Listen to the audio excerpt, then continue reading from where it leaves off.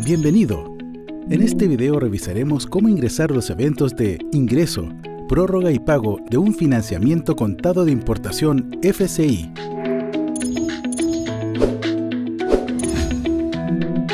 Selecciona el portal Empresa. Digita tu root, clave y haz clic en Ingresar.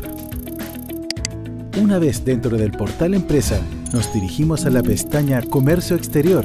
En el menú desplegable Portal Comercio Exterior, haz clic. Aquí accederás al portal COMEX. Aquí dirígete a la pestaña Financiamiento, donde encontrarás el menú desplegable de Préstamo, Plantilla Préstamo, Enmienda Préstamo, Pago Préstamo, Copiar desde. Para ingresar a una operación nueva, haz clic en Préstamo y accederás a una nueva ventana Portal COMEX. En esta pantalla se despliega la solicitud de financiamientos contados de importaciones. Para comenzar, debes ingresar los datos en detalles generales. Ingresa el número de referencia, el monto de referencia, el tipo de moneda, fecha de vencimiento de este crédito, la tasa. Aquí es muy importante ingresar la tasa final. En el caso que sea necesario, podemos adjuntar documentos, por ejemplo, una factura. El sistema guarda la factura dentro de la transacción.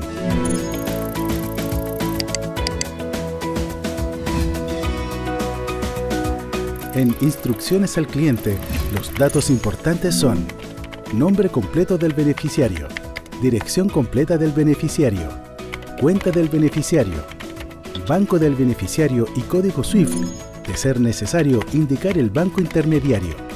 Con esa información tendríamos menos errores ya que es un código único que identifica a los bancos en el mundo.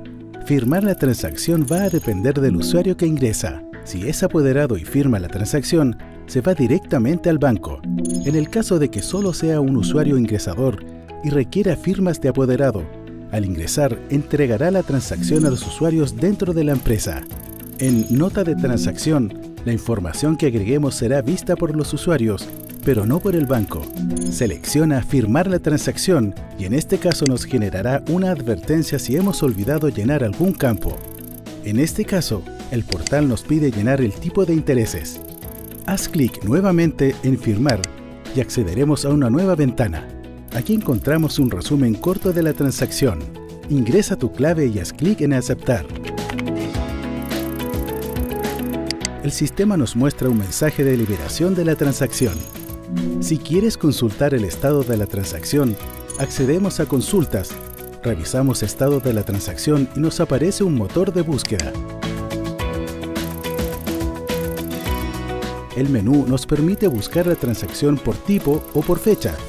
En este caso, ingresaremos la fecha que usamos para ingresar la transacción en Buscar y aparecerá la transacción.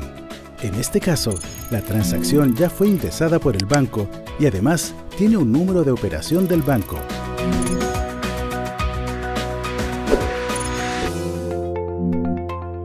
Evento de prórroga. Selecciona la pestaña Financiamiento. Se desplegará este menú. Haz clic en Enmienda de préstamo.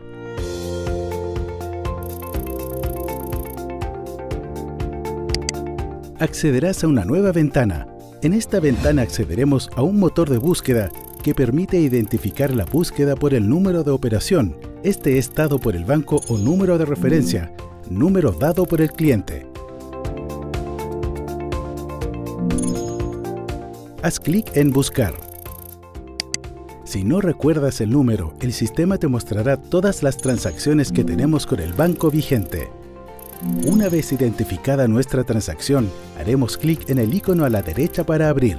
Se abrirá una nueva ventana con la información de la solicitud de modificación. En este caso, generaremos una modificación al vencimiento, llamado prórroga. Modificaremos el mes y después haz clic en Firmar.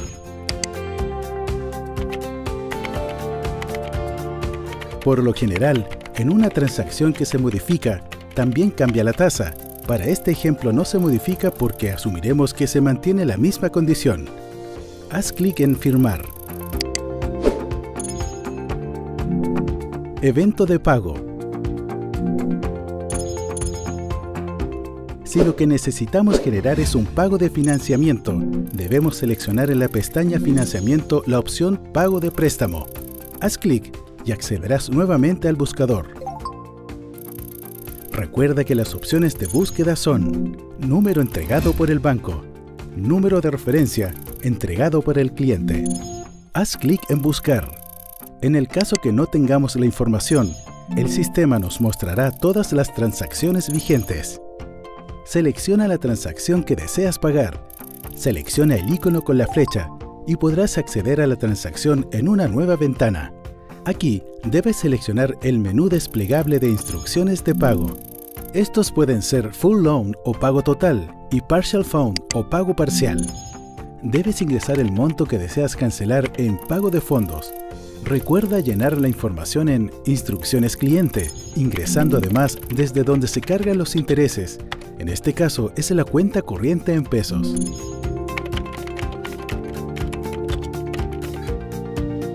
Selecciona Firmar. Pasarás a una nueva ventana liberando la transacción. Hemos terminado con esta capacitación. Continúa aprendiendo.